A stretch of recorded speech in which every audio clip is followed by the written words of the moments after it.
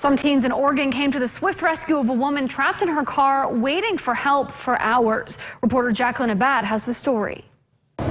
What started out as a night out with friends turned into a water rescue. Um, firefighters did show up with their um, inflatable device and were able to rescue her off of the vehicle. Early this morning, 22 year old Kayla Leatherman was driving on Highway 30 when she fell asleep, veered off the highway, and her car flipped a couple of times into the Scappoose Creek. The current was so strong it pushed her car directly under the bridge.